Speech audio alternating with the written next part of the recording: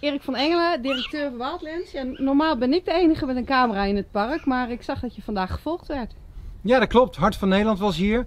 En eh, de bedoeling was om, eh, en dat hebben ze ook gedaan, om een reportage te maken omdat wij hebben aangekondigd dat we vanaf 25 mei weer open mogen. En eigenlijk hebben ze ook gevraagd van, goh, waar gaan nou hè, speciale maatregelen plaatsvinden? Dus dan uh, ga je bijvoorbeeld bij de Leeuw, hè, dat is zo'n typisch punt zeg maar, waar iedereen bij elkaar uh, uh, dreigt te komen om de leeuwen te zien.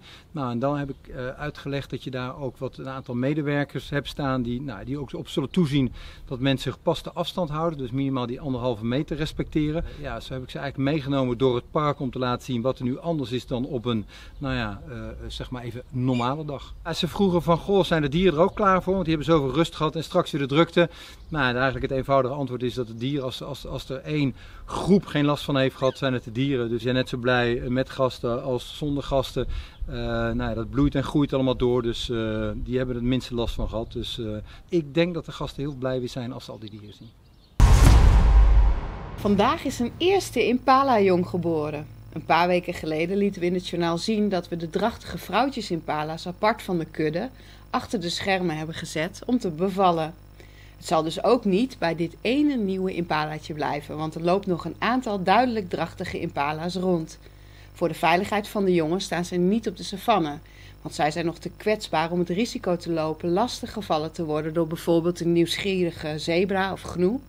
En ook bouwt het impala-jong nu in alle rust een band op met de moeder. Op dit moment zie je onze zuidelijke pelsrobben achter ons liggen.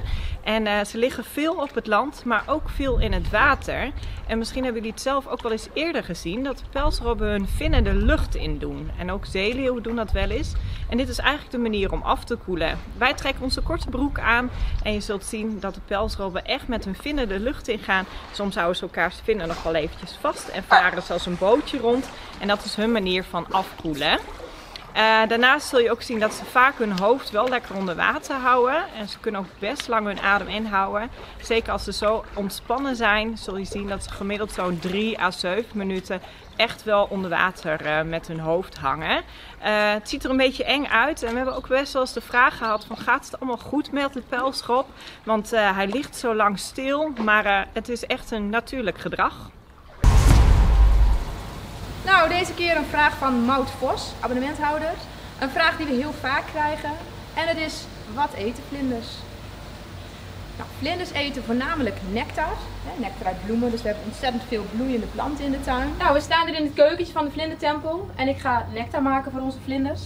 Als eerste honing.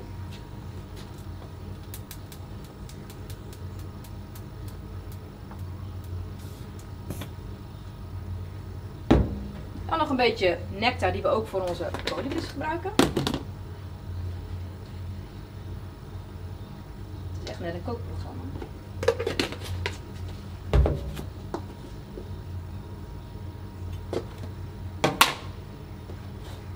Stuifmeel.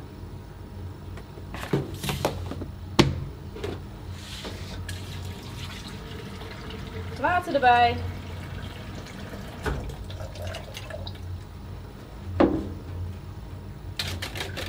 En even goed klutsen. Vervolgens als bloem hebben we een klein plastic bakje met een gekleurd sponsje erin. Daar gaat de nectar in en die zetten we in de tuin.